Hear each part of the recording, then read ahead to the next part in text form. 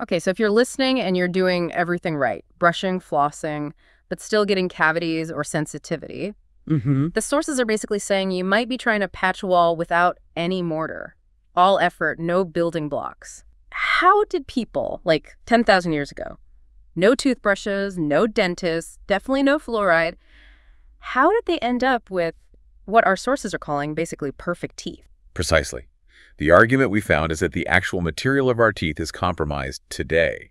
Ancients had the building blocks for constant repair right there in their environment. We um, seem to be missing them. Traditional treatments might try to, I don't know, paint over the wall or maybe reinforce the existing bricks somehow. Oh, But NHAP, because the particles are so incredibly small, they can actually get into those microscopic cracks and defects.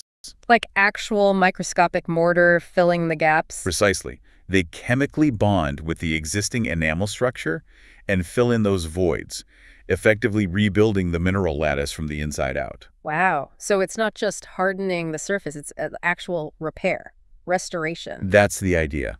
Moving away from external chemical treatments the body doesn't fully recognize. And instead, giving the tooth the exact material it was designed to use for self repair all along. Restore your enamel naturally with Dentite,